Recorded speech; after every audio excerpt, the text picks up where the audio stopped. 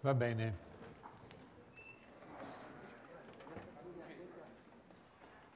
Qui adesso viene il difficile. Cercheremo di... Cercherò di andare piano anche perché non ho molte trasparenze.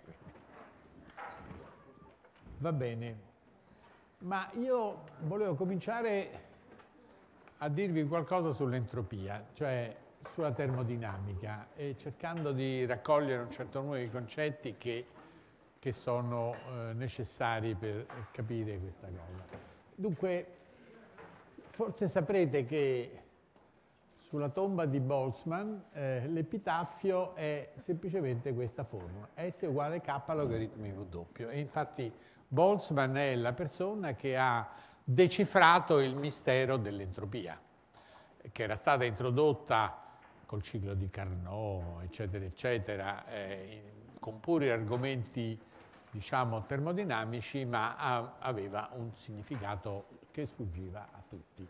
Eh, in particolare quello che sfuggiva è la famosa legge dell'aumento dell'entropia, cioè un sistema isolato, universo, l'entropia non può che aumentare. Eh, questo naturalmente eh, è in buon accordo con i dati sperimentali perché diciamo, eh, eh, noi vediamo che c'è una tendenza dei fenomeni fisici ad andare in una certa direzione.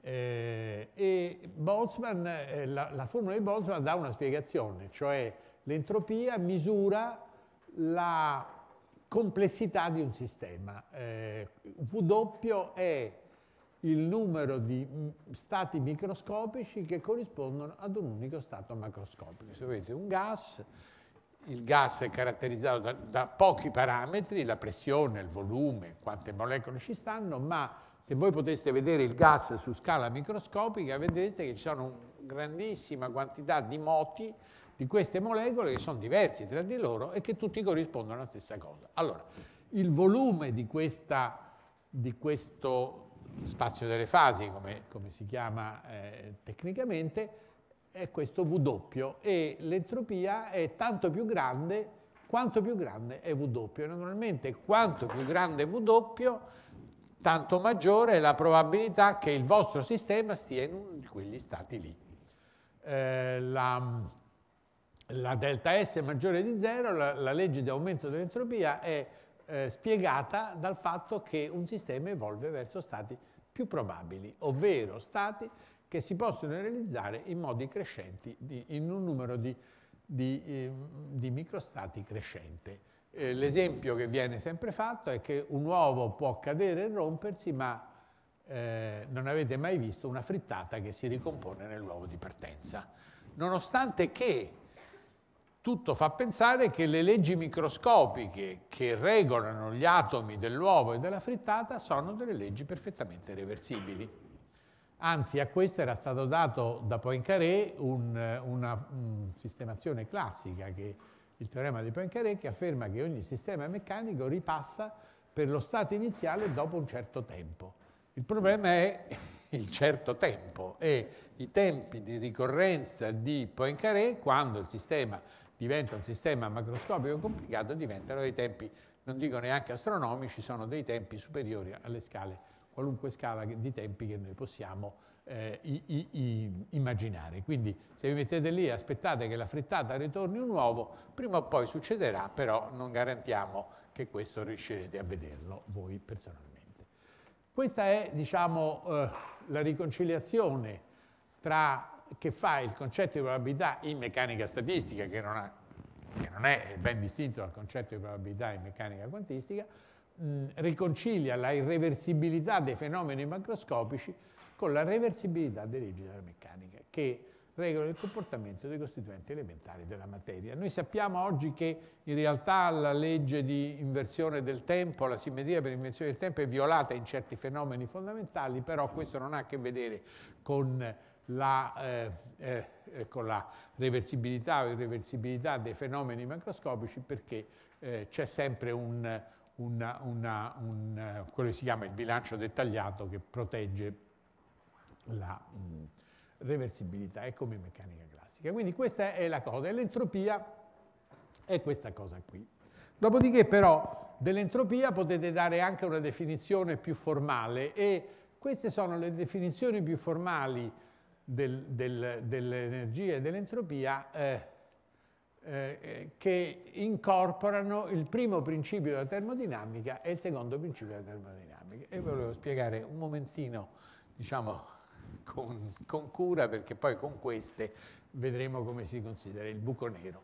Eh, in realtà, quando voi siete uno studente e andate ai, ai primi anni eh, di università, eh, la termodinamica è la cosa più difficile che si possa immaginare perché in generale viene spiegata in maniera complessa, per così dire. Vi devo dire che quando io ero studente la prima incontro con l'entropia fu al corso di chimica e me la spiegava in un modo, e io devo dire, non ero d'accordo con quello che diceva il professore. Infatti ho preso un pessimo voto all'esame in chimica, ma sostengo che io avevo ragione e che quello che era scritto sul libro del professore erano delle merite sciocchezze e quindi va bene. E questa formulazione eh, sembra un po' astratta, ma in realtà è veramente quella che fa capire le cose come stanno. Primo principio. Il primo principio riguarda l'energia, questo è facile.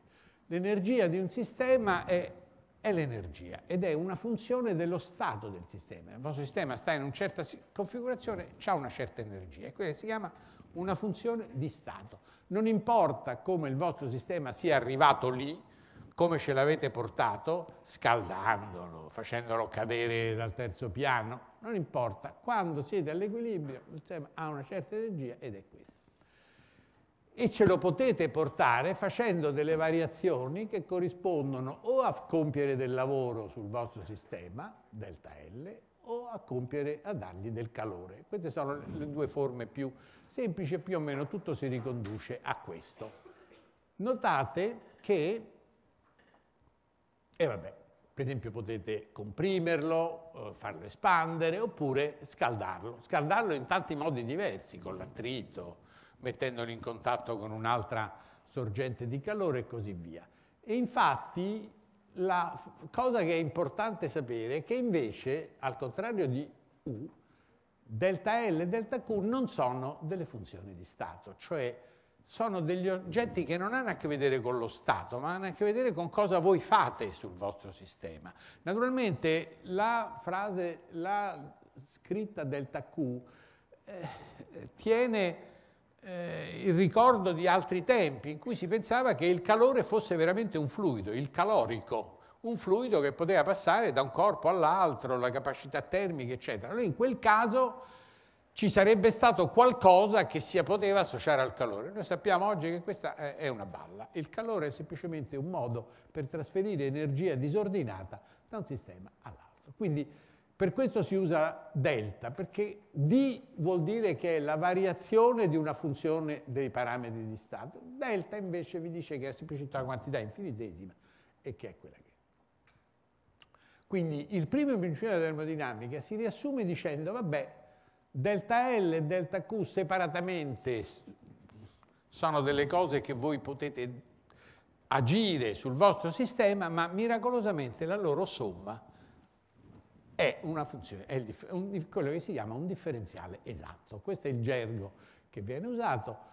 Delta L e delta Q non sono differenziali esatti, mentre la loro somma lo è, è un differenziale esatto. E qui allora si innescano tutta una serie di manipolazioni matematiche che portano alle varie leggi della termodinamica.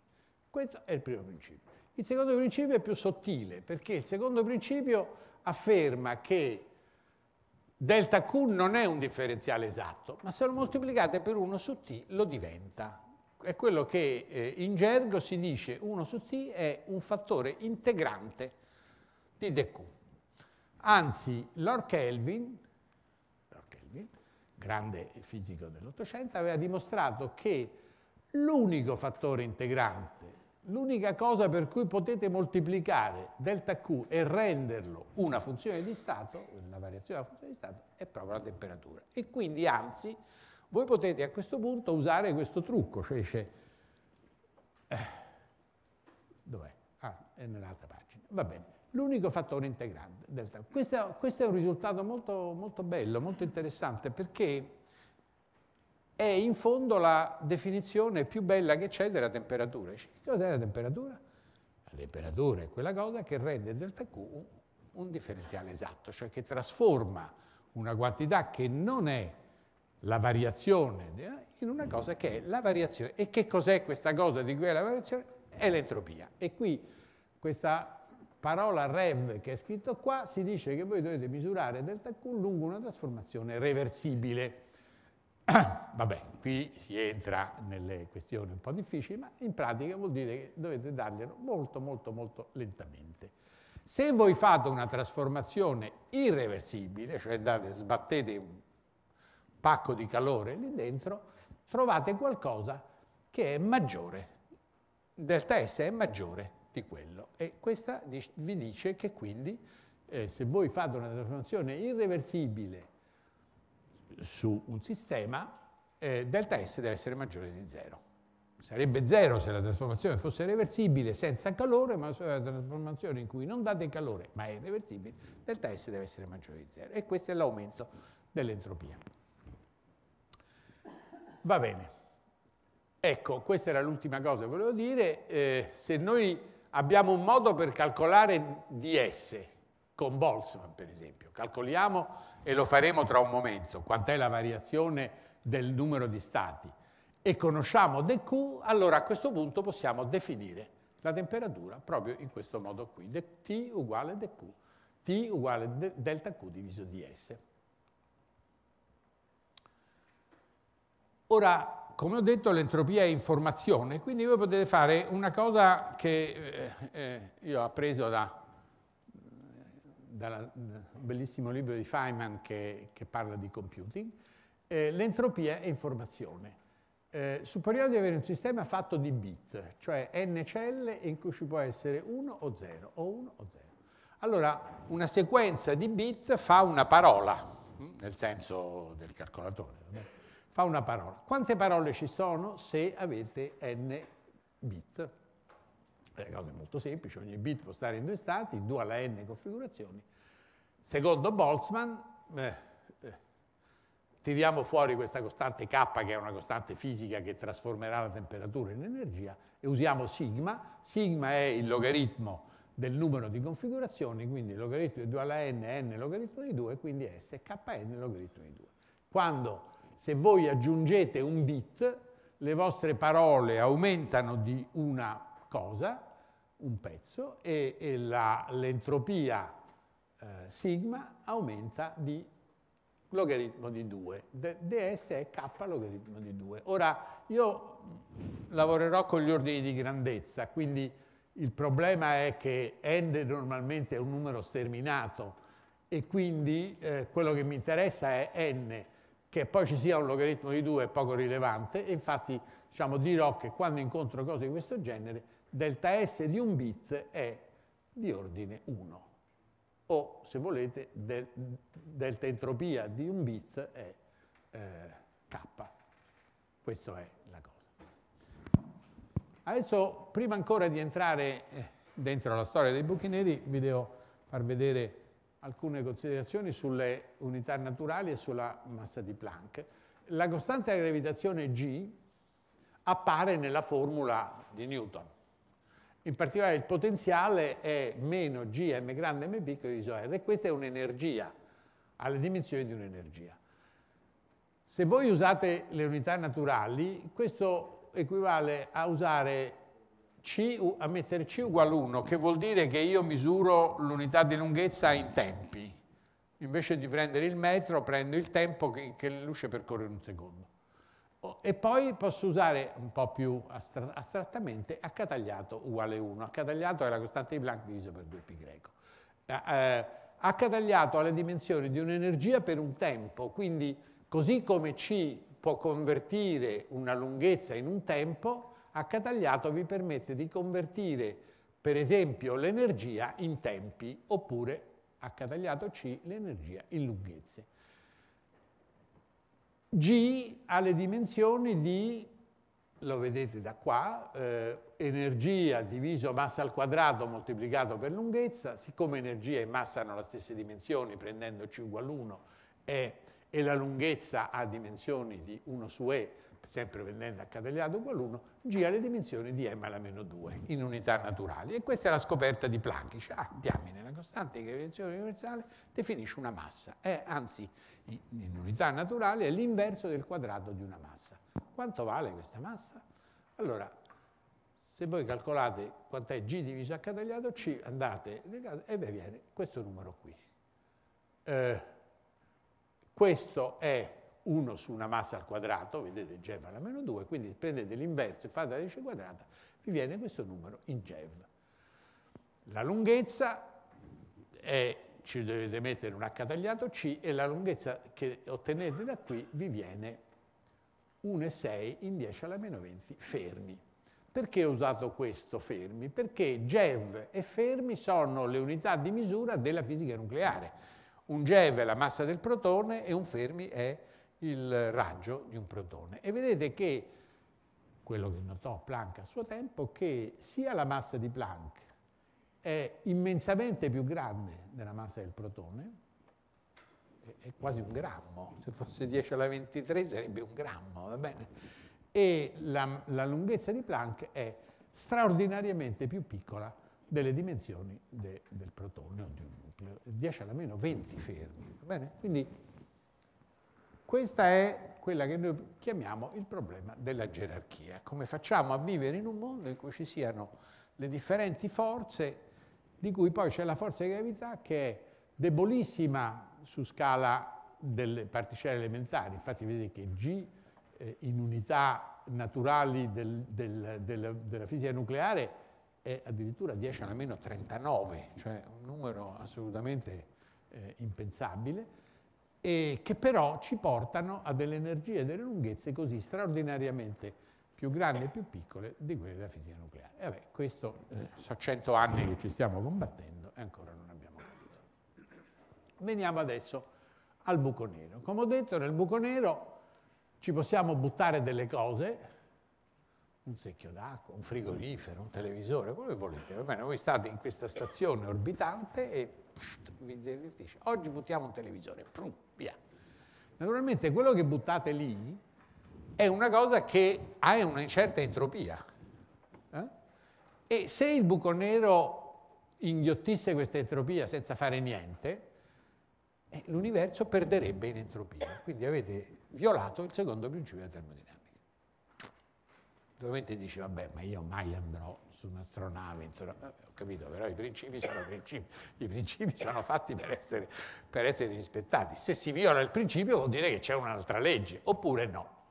Allora, il signor Bekenstein, che evidentemente era un testardo, nel 1933 concluse che un buco nero deve avere un'entropia in modo tale che si possa salvare il secondo principio. Cioè, butto dentro un televisore, vabbè, vuol dire che l'entropia che stava prima qui, adesso sta là. È nell'entropia del buco nero. Però il problema si scontra con questa cosa del no-hair, cioè, mentre noi lo sappiamo che una scatola che contiene il gas è un oggetto complesso, perché c'è il modo browniano, c'è il modo... lo vediamo, va bene?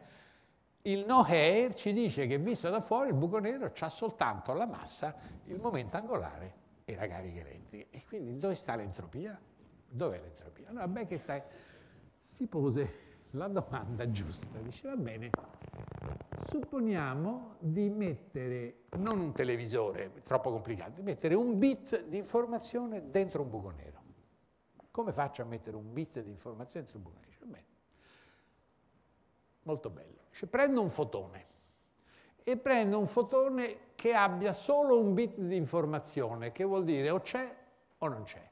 E questo fotone per avere un solo bit di informazione non può avere complicazioni, deve avere una lunghezza d'onda che è proprio esattamente il raggio di Schwarzschild. Quindi è un fotone che è proprio solo un'onda.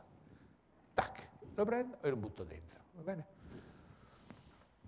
E naturalmente un fotone Così fatto ha una certa energia, H nu, nu è 1 su lambda, lambda è Rs, quindi l'energia è questa roba qua. H diviso G per M. Questa è l'energia che, che, gli sto dando. La variazione della massa, questo sarebbe il de, delta Q, se volete, va bene? Poi ce lo ricorderemo. Avete dato un bit di informazione ma anche un bit di energia.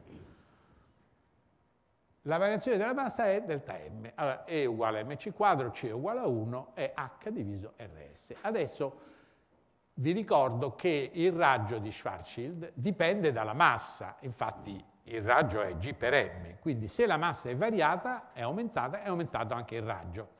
La variazione del raggio è Hg diviso RS, proprio esattamente questa roba.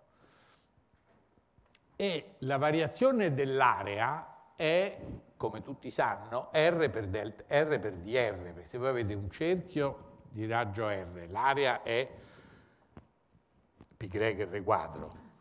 Ah, ecco perché mi sono sbagliato un fattore 2, perché l'area è πr quadro, non 2πr quadro. Va bene, oggi cerchiamo di ricostruire la formula di Hawking e mi sono sbagliato. Vede, è scritto qui, è, è sbagliata, è πr quadro. Ai, ai, ai, πr. Allora, quanto varia se voi variate R di un pezzetto? Beh, se voi variate un pezzetto vuol dire gli aggiungete una corona no? di, di, di, di, altezza di R e di base 2πr, che è il caso. Quindi la variazione dell'aria è 2πr R per dr. Quindi deve fare per la variazione dell'aria deve fare R per delta R. Ma R per delta R, siccome delta, delta R è 1 su R, R per delta R non c'ha più niente, è G. È semplicemente G. E G equivale a G è 1 su LP al quadrato, quindi eh, eh, è, LP, è la lunghezza di Planck al quadrato, cioè è un'area di Planck. Quindi un bit di informazione corrisponde a un'area di L Planck. Eh? L Planck al quadrato. Allora, se la vostra black hole contiene n bit, la sua area sarà n volte L Planck al quadrato. Quindi l'entropia sarà k volte area diviso L Planck al quadrato. Tac, gm quadro. Tac. Questa è l'entropia. Cioè, in altre parole, è vero che la, la buco nero non ha peli, però ha una massa e quando gli mandate un bit è inesorabile che questo bit porti un'unità di massa che è 1 su r e questa massa aumenta e aumenta l'area. Ora, Hawking aveva trovato effettivamente che l'area del buco nero ha una proprietà molto simile a quella dell'entropia, per esempio cresce quando si hanno le collisioni e così via. E beh, eh, beh, beh spiegato perché, va bene? Perché L'area è l'entropia. L'entropia è misurata in unità della lunghezza di Planck. Ma allora, se noi conosciamo delta Q, che è questo, e conosciamo la variazione di sigma, che è 1, perché questo delta Q corrisponde a un bit, quant'è la temperatura? Eh beh, la temperatura è dq su ds, perché ds deve essere uguale a dq diviso t. Quindi se io faccio la mia variazione di energia, mettendo sto fotone con un bit, diviso la variazione dell'entropia, che è un bit, trovo H diviso Gm, cioè M quadro Planck diviso la massa, e questa è la temperatura. Tac!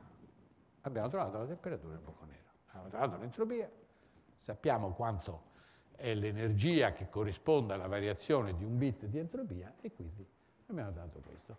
E questo è proprio il risultato di Hawking. Oh, se andate a guardare sui libri, a meno di un fattore 8π greco, eccetera, è proprio questo. Kt è 1 su 8π greco gm. Questo è scritto già in unità naturale, quindi questo h è diventato 2π greco, insomma no, non importa, è questo, va bene? Anzi, io oggi ho cercato di calcolarmi e mi sono sbagliato perché l'area della cosa è π greco r quadro e non 2π greco. Quindi. E questa temperatura è interessante per due motivi. Prima di tutto se il, prendo il sole.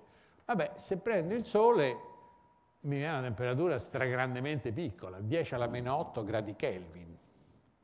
La temperatura dell'universo è 3 gradi Kelvin, quindi diciamo è freddissimo. Un buco nero che abbia la massa del Sole è freddissimo, ma anche un buco nero che abbia la massa di un milione di volte la massa del Sole, mh, mm, no, è pure peggio, perché naturalmente la, la massa è, la temperatura è inversamente proporzionale alla massa. Quindi diciamo, questo è il meglio che potete fare.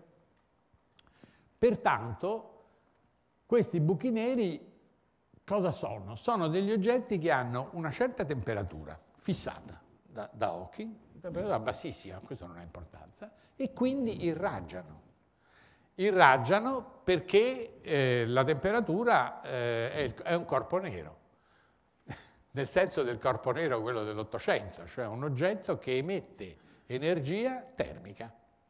Naturalmente la temperatura è talmente piccola che noi non la vediamo, anzi noi vediamo i buchi neri succhiare energia, perché stanno mangiando le, le stelle circostanti che gli cadono dentro e gli aumentano l'energia e diminuiscono la temperatura. È un fatto paradossale, ma è così. E, ehm, quindi un buco nero si comporta con un corpo nero a temperatura T, ma, e non è assolutamente nero perché irraggia energia con lo spettro di Planck. Ma naturalmente eh, la temperatura è talmente bassa che eh, non ci sono implicazioni pratiche al momento. Qui c'è stata poi tutta una serie di sviluppi successivi, eh, c'è stata un, una lunga controversia tra Hawkins, Toft e Susskind. Eh, Hawkins non credeva che la termodinamica resistesse fino alla fine, mentre invece alla fine vari modelli di buchi neri fatti con eh, le stringhe hanno mostrato che effettivamente eh, tutto funziona perfettamente, o quantomeno con un certo numero di congetture si può trovare questo. Epilogo. Quando i buchi neri al centro della galassia saranno mangiati tutte le stelle e tutti i gas, e quando la temperatura del cosmo sarà scesa al di sotto della temperatura di occhi dei buchi neri, i buchi neri cominceranno a irraggiare. Irraggiamento diminuisce la massa, la temperatura sale, l'irraggiamento cresce. Alla fine i buchi neri evaporeranno, ritornando allo stato dell'universo iniziale, fatto di una radiazione eh, di corpo nero senza, ehm, senza ehm, altre cose. Naturalmente non sto a dirvi tra quanti miliardi di anni questo succederà, diciamo. stiamo parlando di cose che eh, 10 alla 60 anni, qualcosa di questo genere. Però c'è una cosa che mi colpisce, cioè quando evapora il buco nero, eh, diciamo, lui aveva un certo numero di cose che non possono evaporare, per esempio la carica elettrica, ma la carica elettrica totale è zero, quindi niente. Il momento angolare non importa.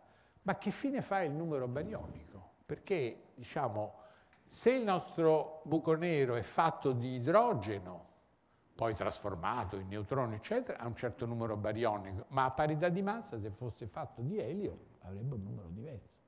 E nel teorema Noether il numero barionico è scomparso, è quello che dicono i relativisti, dice se è fatto di peanut butter o di ferro è la stessa cosa. Ma allora noi vediamo che il numero barionico invece si conserva.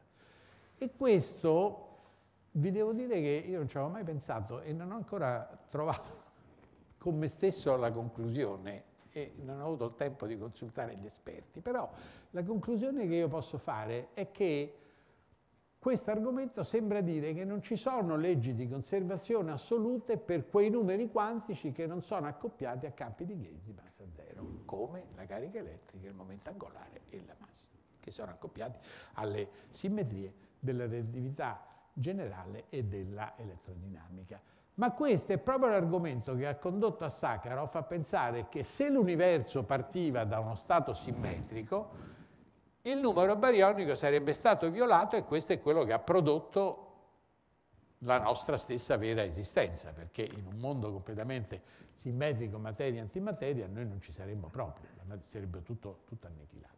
Quindi sembrerebbe che questo problema dell'evaporazione dei buchi neri ci riporti esattamente allo stesso argomento, cioè le leggi di conservazione che non sono associate a forze a lungo raggio non valgono. alla fine dentro il buco nero vengono cancellate. E quindi, così come l'universo è partito nel Big Bang da uno stato simmetrico ed è evoluto in uno stato antisimmetrico, così l'universo passa attraverso il buco nero e ritorna in uno stato simmetrico. Sembra una conclusione molto interessante, e ci penserò sopra e poi semmai vi farò sapere cosa ne penso. C'è una re regola aurea dei seminari che dice che lo speaker verso la fine del seminario può parlare anche di cose che personalmente non capisce e poi deve tacere. È arrivato il momento. Grazie.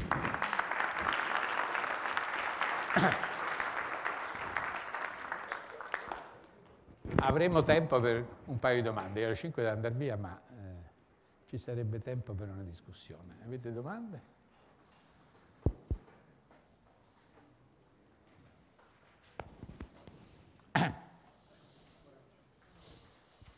Prego. Eh, professore, nella statistica, eh, nella termodinamica statistica si parla di due statistiche, di Bose-Einstein e la statistica di Fermi-Dirac, giusto? Sì. Ecco, in, nel buco nero valgono ancora queste statistiche? Beh, ma i buchi neri non hanno... Cioè non è che io eh, posso studiare che succede quando scambio due buchi neri. Un gas di buchi neri non l'abbiamo ancora considerato e certamente non saranno mai uguali, nel senso che la massa ha una distribuzione praticamente continua. Quindi invece cosa succeda dentro il buco nero? Ai. Però l'entropia evidentemente conta solo, almeno per quello che vediamo da questi argomenti, l'entropia conta solo quant'è l'orizzonte, quant'è l'area dell'orizzonte, non dice c'è un orizzonte fatto di fermioni e un orizzonte fatto di bosoni. Non c'è questa cosa e quindi non, non saprei, ma non mi sembra che questo intervenga.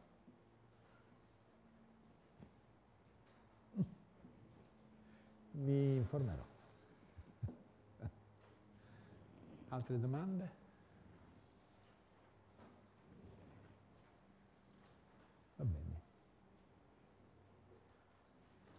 Spero di avervi interessato. Eh, ci sono due libri che eh, hanno confortato mia, eh, i miei dubbi esistenziali.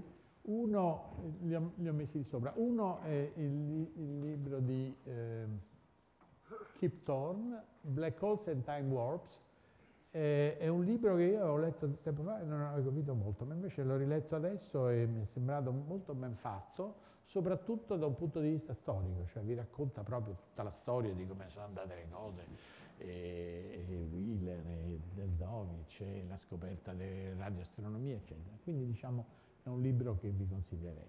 Poi c'è un altro libro molto più sofisticato che si chiama La guerra dei buchi neri, che è scritto da Suskin, che è uno di quelli che ho citato alla fine del, del discorso e che insieme con Tofta ha portato avanti questa controversia da, da insieme con Hawking. Devo dire che è fatto molto bene, per esempio è lì che si capisce l'argomento di Bekenstein, lo, lo, spiega molto bene si capisce benissimo come si arriva all'entropia del buco nero, ma, ma non dice qual è lo dice che loro hanno vinto la guerra dei buchi neri, ma non si capisce come. E quindi diciamo questo francamente, alla fine l'ho riletto due volte, ma si, a un certo punto sì abbiamo vinto, abbiamo vinto. Ed è eh, presumibilmente questa questione del principio olografico, che non è molto chiaro. Il principio olografico dice che tutta l'informazione della gravità quantistica, nello spazio di Anti Sitter però, è contenuta in una teoria di dimensionalità inferiore. È come se eh, tutta l'informazione che sta in questa stanza dovesse essere tale da poter essere immagazzinata sulle superfici di questa stanza. E questo è un principio molto profondo che sostanzialmente è stato in qualche forma inventato da questo eh, fisico argentino di nome Maldacena, che è uno degli eroi della presente fisica eh, quanto gravitazionale. E, mh, che però vi devo dire non, non, non domino, non, non, fa parte delle mie conoscenze, però diciamo è un argomento molto interessante, forse i giovincelli che sono qui magari più avanti lo capiranno meglio, però insomma eh, questo è, eh, comunque il libro di Suskin è comunque ugualmente molto, molto, molto illustrativo, naturalmente ci sono dentro un sacco di cose, quindi non è, non è di lettura tanto facile.